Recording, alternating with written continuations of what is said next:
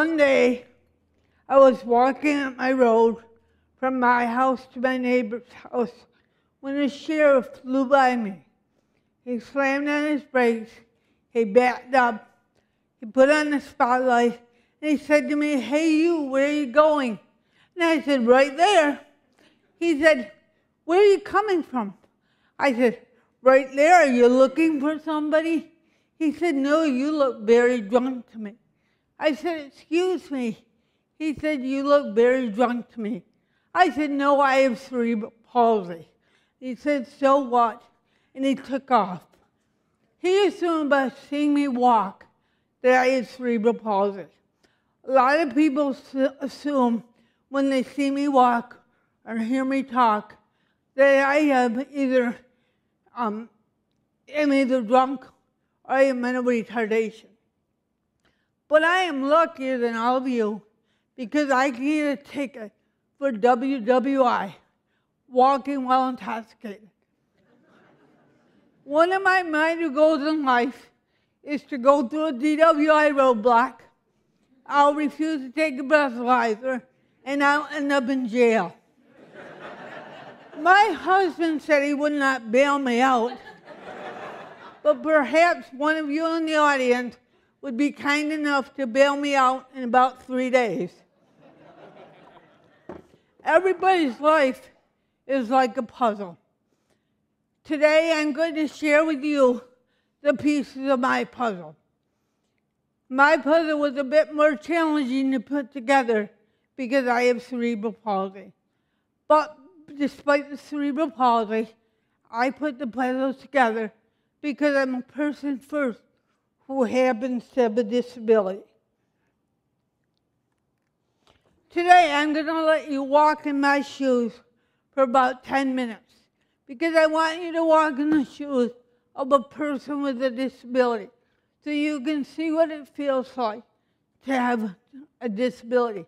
You don't get to keep my shoes because they're mine and they are worn and they're scuffed because they're the shoes of a 62 year old woman who's a wife, a mother, a friend, a grandmother, and who happens to have cerebral palsy. I was born with cerebral palsy. When I was born, I was the youngest of four and the cutest. But nobody knew I had a disability. At about a year old, I was diagnosed with my first label, which was mental retardation. At, at four and a half, they diagnosed me with cerebral palsy. At those times, children with disabilities weren't kept at home, and I was placed in a residential institution in Leroy, New York, where I learned to become a self advocate and a brat. I spent 10 months in the institution, and after being there about two weeks, my mission was to bust out. and so I did everything in my power to do that. They said you had to wear a helmet. I hate helmets. There was no way I was going to wear this. When I said to the staff I didn't like it, they said, too bad. So I hit it, or I tried to break it, and one day I tried to flush it down the toilet. They said to me, okay, you don't have to wear this helmet anymore. More. So I learned really early that if I was stubborn and persistent, I could get anything I wanted, and it still works today.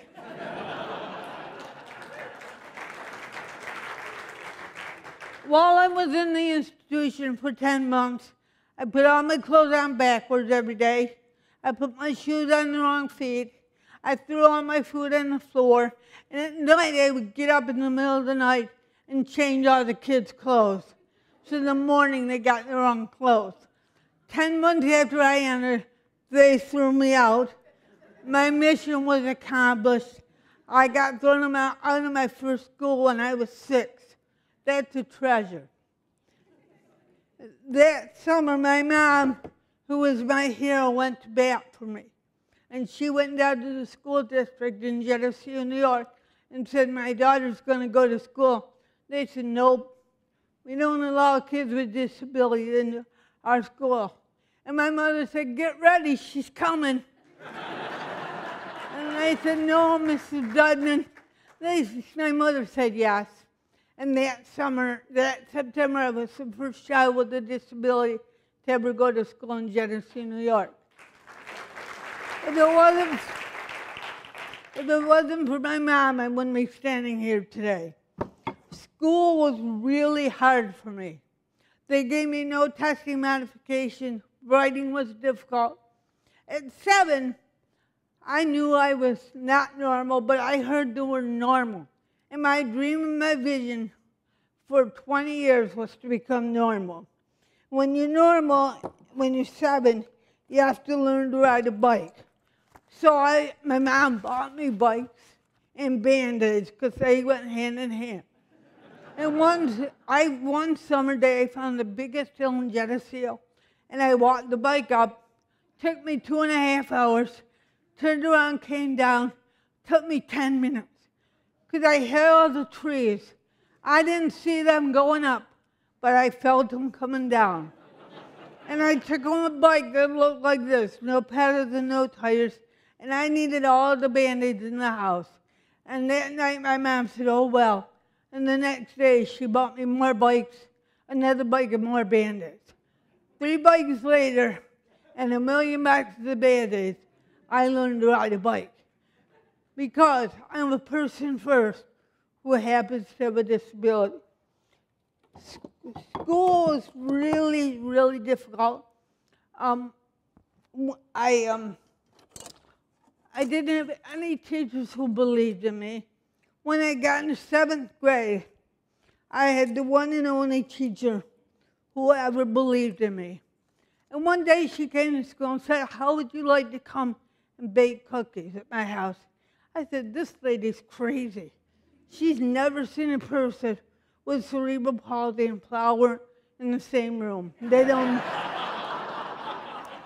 So I went to her house and I made cookies and there was flour everywhere. And she didn't care because what she told me was all the cookies were the same.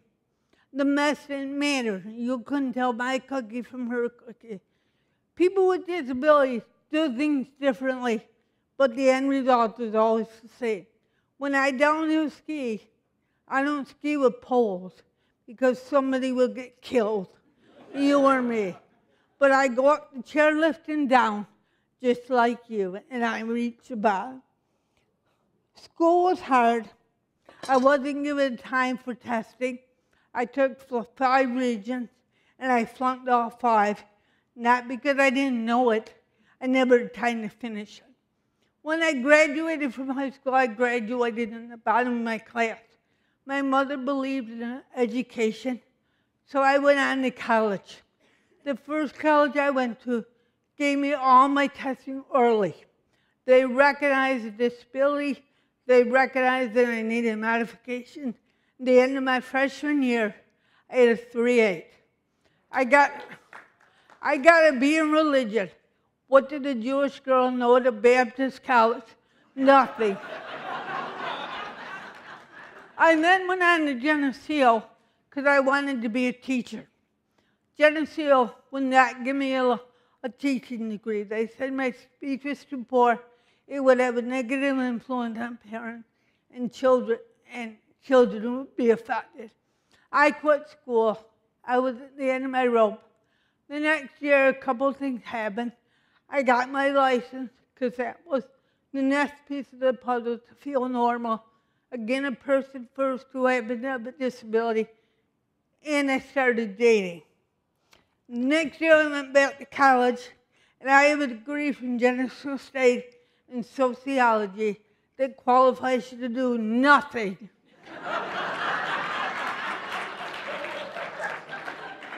but it looked good on the resume. BOCES liked it.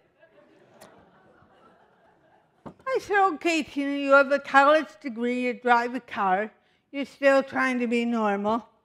So you better read Family Circle and get married. so I married the first jackass that asked me And I thought that was going to prove to the world I was normal. That doesn't prove anything but get in a whole lot of trouble. As an adult, I've had several jobs.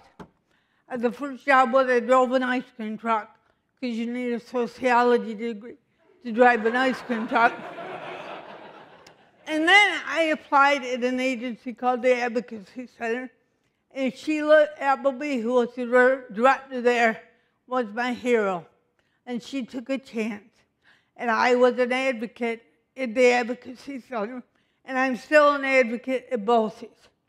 I stayed married 18 years, you know, because I thought I was supposed to. And I accepted what is, is that I'm person first who happens to have a disability. I can't define normal. So after 18 years, I said, okay, you're allowed to do one more normal thing. And I got divorced. and that's my biggest treasure. 15 years ago, I got remarried for all the right reasons. I'm the mother three, the grandmother three. I met my husband Tom when I was 43. The first time in my life I've ever had a best friend. Think about going through life and not having a best friend till you're 43 years old. He's given me love, he's given me friendship, and he's given me companionship. And because of Tom, because of my family, because of my work and everybody who believes in me. Guess what happened when I was 50 years old? My puzzle finally came together. And I believe that Tom was a motivating factor in that, along with my children. And I want to leave you with one quote that I love that says, The only disability in life is a bad attitude. And I'd like to thank you very much.